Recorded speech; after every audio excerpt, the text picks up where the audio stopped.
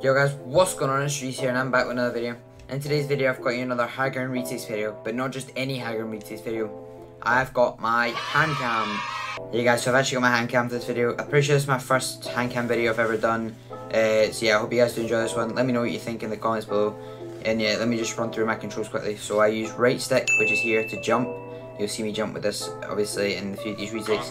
Um, I got my left stick, which has got a KontrolFreek on it. This I use to edit and confirm. Um, I got my B button, which I don't use for anything. I've actually got a paddle for my B button on the back here. Um, so yeah, when you see me pressing, not pressing my B button for any builds, you know I've got a paddle on the back right here. Um, my RB is for my cone, uh, my floor, sorry, and as well as my reset. My RT is for my wall, uh, my LT is for my stair, and my LB is for my cone. So yeah, uh, I hope you guys do enjoy this video. Um, please make sure to leave a like and also subscribe. And yeah, I hope you guys do enjoy this video. Peace out.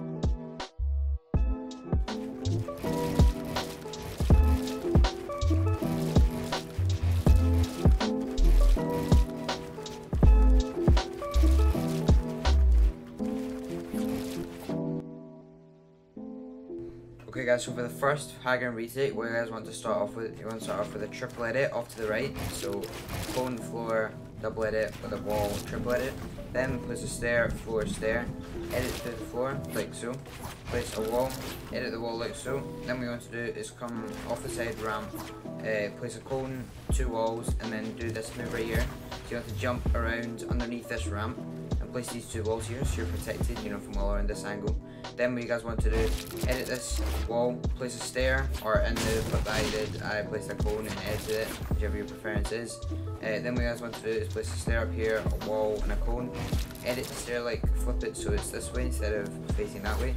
Then what you want to do is edit the cone into a stair like so with the two tiles I've shown. Quickly place a wall or else this cone will break. Um, so yeah, you don't want it to break so you place this wall here. Then place a stair, floor, stair again. Edit the floor like I did in the other trick. Then place a wall, edit the wall. Now what you want to do is you want to do this all in motion. So you want to get two walls here and a cone and then land here. So you want to kind of do it like that and then also drag these walls down whilst you're doing it.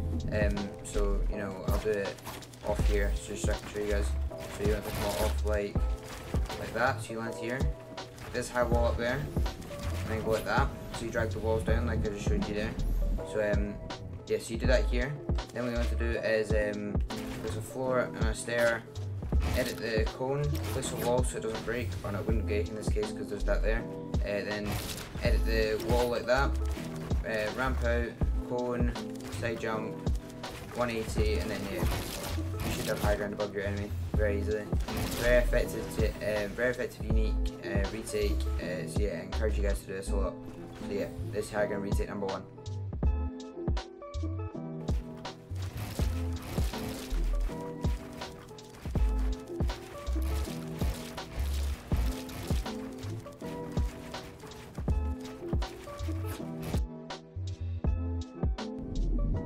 So to start the second high retake, what you guys want to do, is just start off by doing a scissor ramp or a double ramp.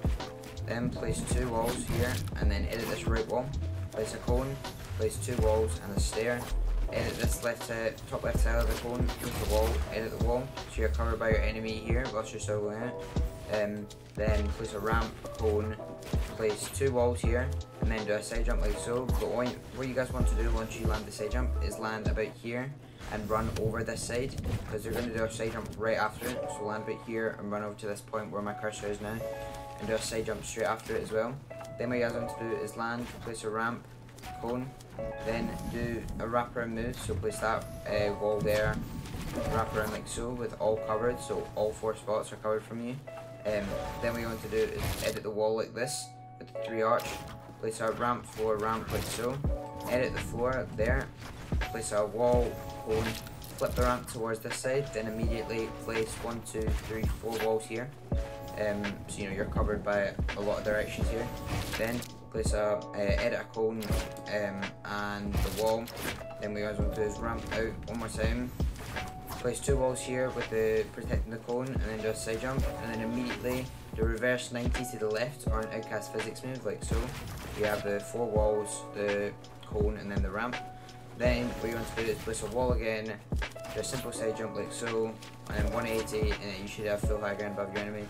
Very effective, uh, especially with the double side jump. Double side jump is one of the most effective moves in this retake that actually gains you high ground quick and fast. So yeah, I recommend you guys do that and try and get it down as fast as you can. So yeah, that's high ground retake number two. Moving on to high ground retake number three.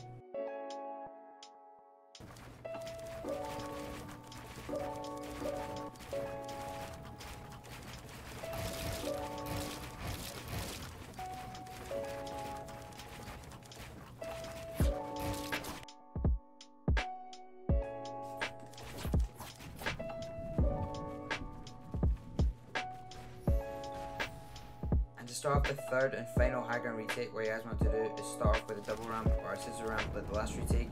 Then place two cones here and third cone here and do this wraparound move where you place three walls and land with a ramp.